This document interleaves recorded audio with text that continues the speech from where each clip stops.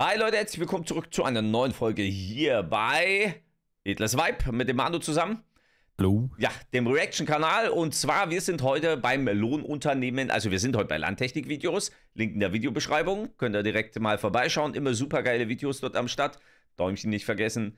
Heute steht an Lohnunternehmen Henke, Frühjahrsarbeiten, Düngung und Aussaat. Wir haben tatsächlich den Teil 5. Der kam nämlich jetzt erst raus.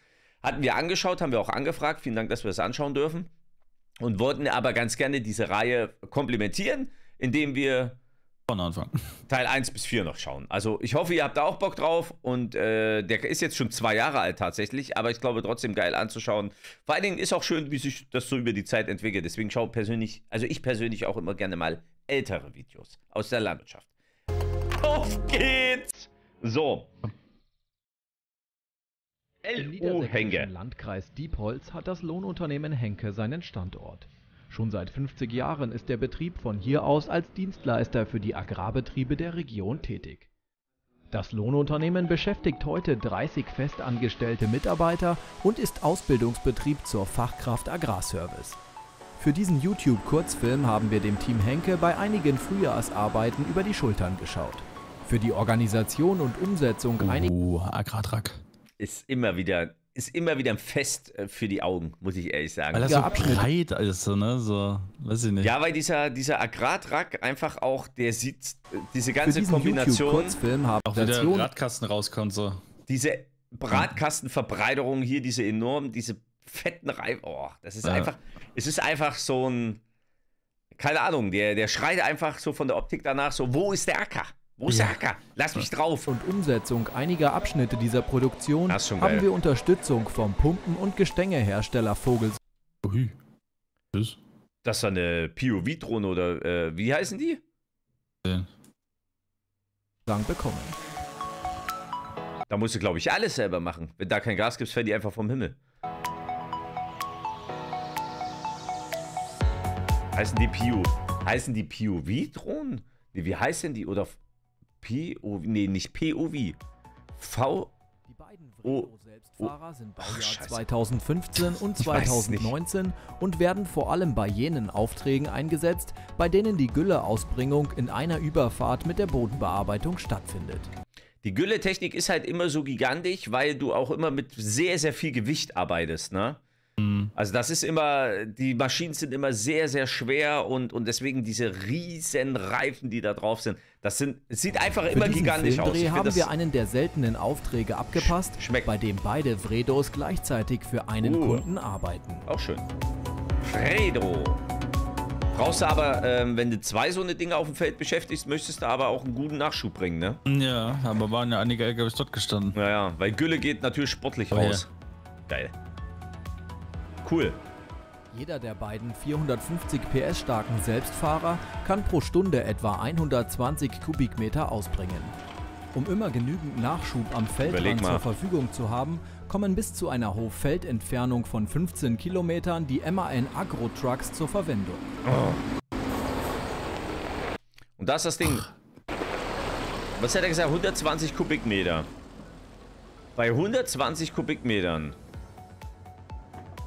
Willst du jetzt lügen? Seit 2012 Fünf LKWs? Flotte dieser Pro Stunde? Zubring-LKWs auf sechs Fahrzeuge Das nicht. angewachsen. In die Tankauflieger passen 25 Kubikmeter. Hä? Bin ich geil? Hm.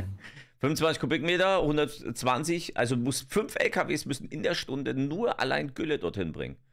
Pro Stunde, pro Dings. Sechs haben sie, oder? Sechs haben sie, ja. Ja, bist du am Dauerfahren.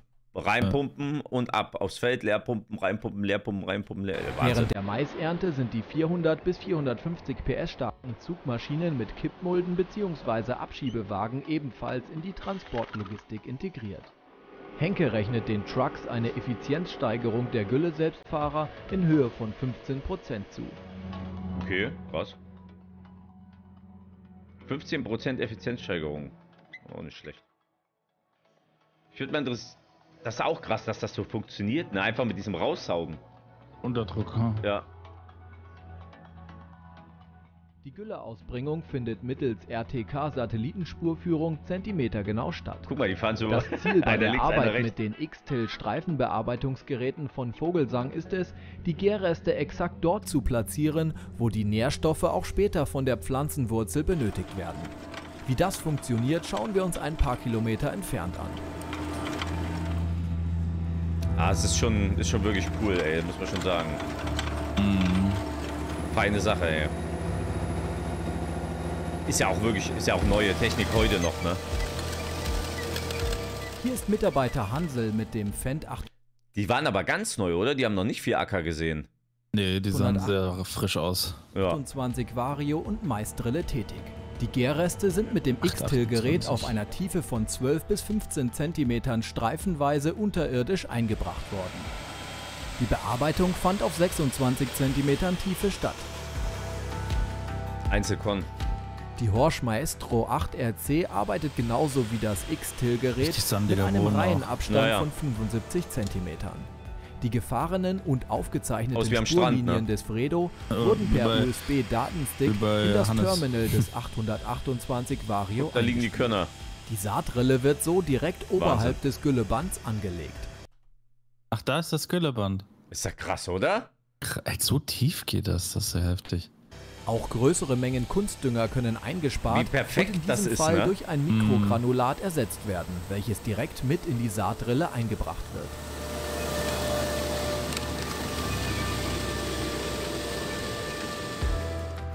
Ein weiterer großer Vorteil der Streifenbearbeitung ist der Erosionsschutz, denn das Bodengefüge wird nur dort intensiv bearbeitet, wo die Lockerung für die Pflanzenwurzeln notwendig ist.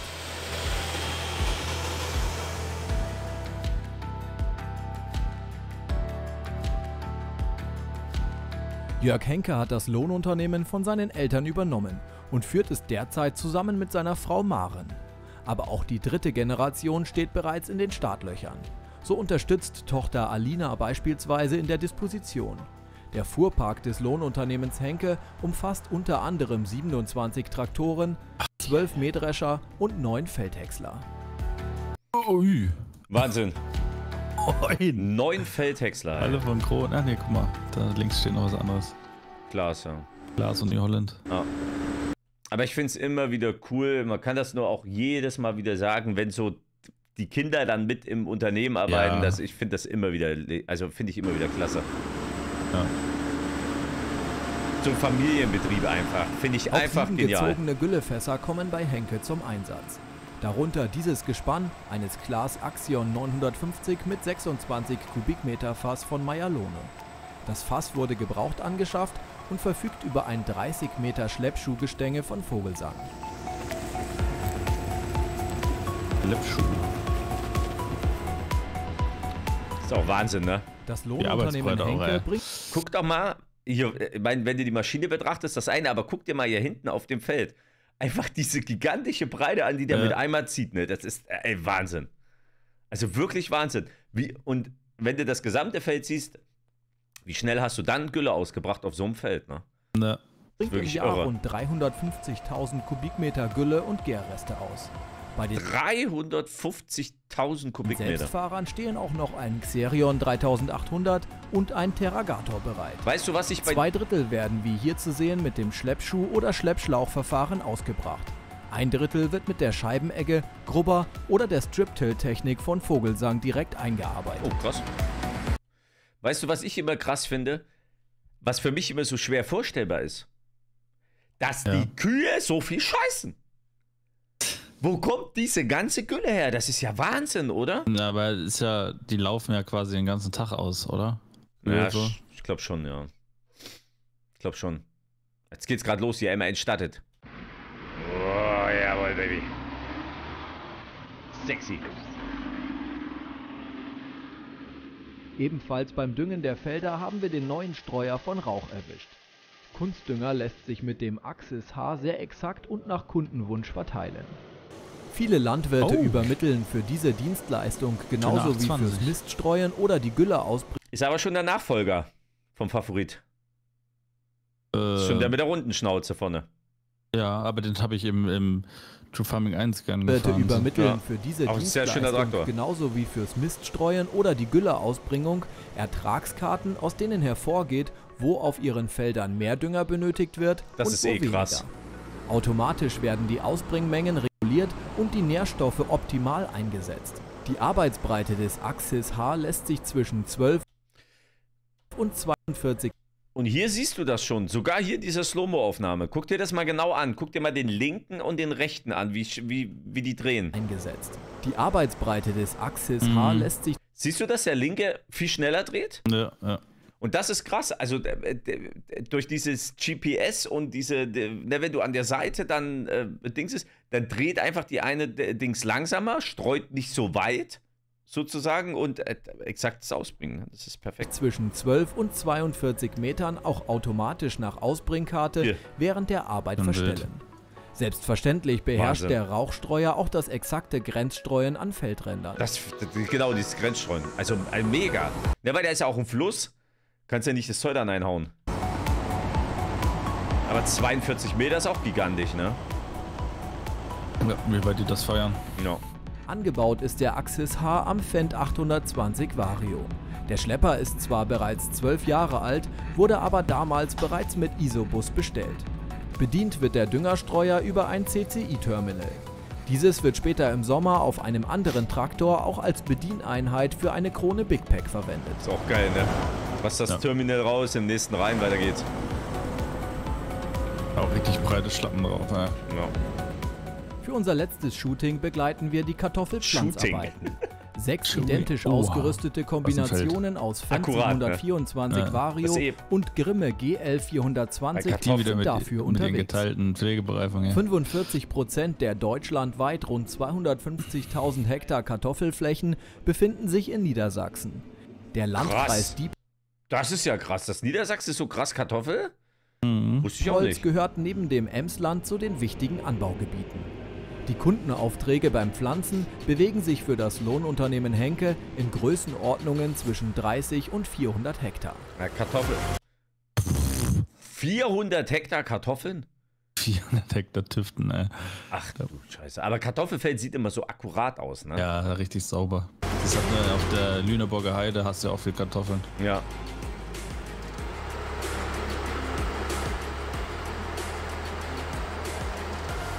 Was haben die da für Tanks noch mit drauf? Das könnt ihr gerne mal in die Kommentare schreiben, aber was sind das für Tanks da? Vielleicht werden die angefeuchtet oder, oder so? Dass das einfach Wasser ist, dass die kurz ja. angefeuchtet werden? Wegen der Keimung? Bauerfolg bei Kartoffeln hängt maßgeblich mit einer gut vorbereiteten Bodenstruktur zusammen.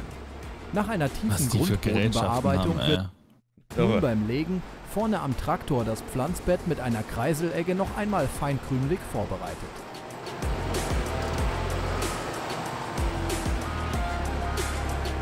Ich gestern was krasses gesehen. Vielleicht ist das auch nochmal was, was äh, für den äh, Salaternte, äh, Erzbergsalaternte. Salat? Äh, das war super krass. Vielleicht wäre das auch nochmal was für den Kanal hier. GL 420 handelt es sich um eine vierreihige Becherlegemaschine mit einem 2 Tonnen fassenden Bunker. Die Beizung des Pflanzguts erfolgt während des Fallens Beizung. der Stollen in die Furche. Mit dieser Behandlung wird das Pflanzgut gegen Pilzbefall und vor Schädlingen geschützt. Pro Hektar. Das ist doch krass. Hektar mhm. werden 2,5 bis 3,5 Tonnen Pflanzgut benötigt. 2,5 bis 3,5 Tonnen pro Hektar. Und jetzt wäre ja echt mal interessant, was kommt runter? Sagt er bestimmt. Stimmt, ist zehnfache. Das Team Henkel pflanzt im Frühjahr insgesamt rund 1200 Hektar Kartoffeln. Zur Ernte stehen gezogene Kartoffelroder und Selbstfahrer bereit. Das Ertragsniveau liegt in dieser Region zwischen 40 und 50 Tonnen je Hektar. Was war das Pflanzen? Zweieinhalb bis drei. 40 bis 50 Hektar ernten. Boah. Ei. Das hätte ich nicht gedacht. Das, das ist ja krass. Das ist ja 15-fache kommt da raus? Hm. Krass unterwegs mit dem Lohnunternehmen Henke. Mit diesen ja. Eindrücken endet dieser Kurzfilm aus dem Frühjahr. Verrückt. Für weitere Informationen zum Betrieb die Website unter www.lu-henke.de. Wenn euch dieses Video gefallen hat, dann freuen wir uns über eure Unterstützung mit einem Like und Abo dieses Kanals.